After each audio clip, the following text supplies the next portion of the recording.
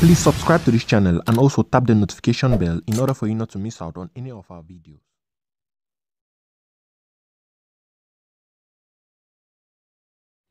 The connection between Ayuk Tabe's new giant rubber gun and the January 5th nocturnal meeting with La République du Cameroon. Warning If you have a heart condition, please take a deep breath. Take in deeply and release. Please repeat this process twice.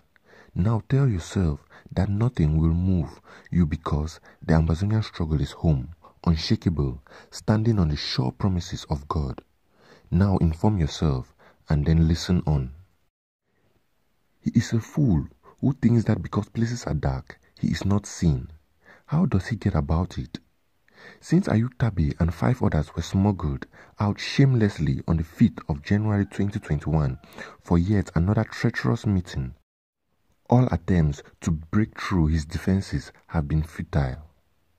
Yet God will not hide anything from his people. My sources have confirmed that the two evil parties discussed the Anglophone crisis. No scoop there.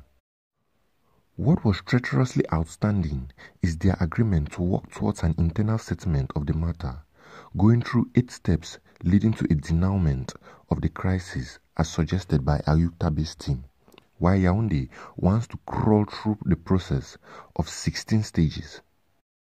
Top on Ayuk Tabe's list, as you would imagine, is their immediate release from prison, shrouded in their demand for the release of all crisis detainees. Yaoundé, on the other hand, is offering to start with 275 releases only, as we have learned. The shameful part of the deal has to do with Tim Ayuk Tabe's request for a security zone where he and his government will stay while attending negotiations in Yaoundé. Evidence of treachery is their request for security from La République du Cameroon. That request has been granted.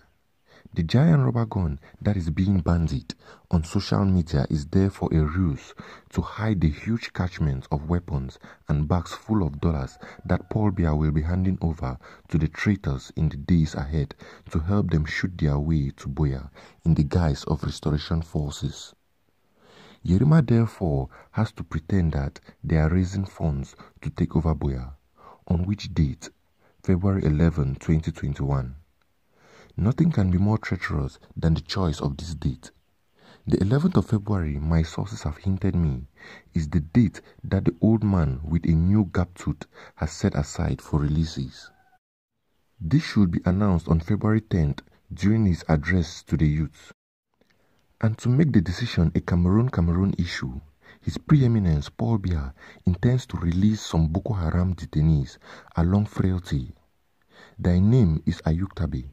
My sources also hinted me on Monday that the Vatican Secretary of State would receive his team Ayuk Tabe on Tuesday, but that meeting was not confirmed to have held. The source is, however, certain that the two would meet before the Vatican's chief diplomat leaves for Rome. The meeting, I learned, is meant to secure Ayuk Tabe firm commitment to the settlement for a federation. The source stated that Archbishop Andrew Nkea and the Bamenda Episcopal Conference assured the cardinal that they still stand by their 2016 correspondence to the government of Cameroon asking for a return to the 1961 federation. The church, my analysis in the face of these similar uncertain times, I want to assure Ambazonians of one thing that our march to Buea will enter the last phase after this pending treachery happens. This will be Ayuk Tabe's last act on the stage. How does a man who doesn't have a single voice in the bushes intend to shoot his way to Buea? What difference will it make if Yaoundé gives him a legion of army bears?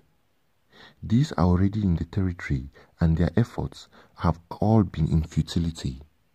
Let's call it the blind leading the blind. Concerning the role that the church is playing in this matter, I appeal to all Ambazonians to hold their peace. We have seen church leaders stand with and for the people in the past. Archbishop Romero of El Salvador stands out clearly in the recent past. Check out Romero on YouTube and you'll find out what this man of God did to free his people from the fangs of the wicked military junta, giving up his life in the process. So let us comfort ourselves with the knowledge that the church in Ambazonia will not be the first to run away from the truth, hiding her head in the sand as it were. Catholic faithfuls and other Christians who took refuge in the Catholic churches in Rwanda were betrayed by tribal and fearful priests and they were slaughtered. This too might happen in Ambazonia, yet that won't change anything. Ambazonia is about to engage the last twist and turn to freedom. Fortunately, the church, as we all know, is not the moderator. She is not the executive president. Here, the title of a church leader. The church is not the bishops. The church is you and I. We all are therefore responsible for her failures. To preempt further degeneration, let every member of the church set time apart to pray for God's servants while individually standing firmly for the truth.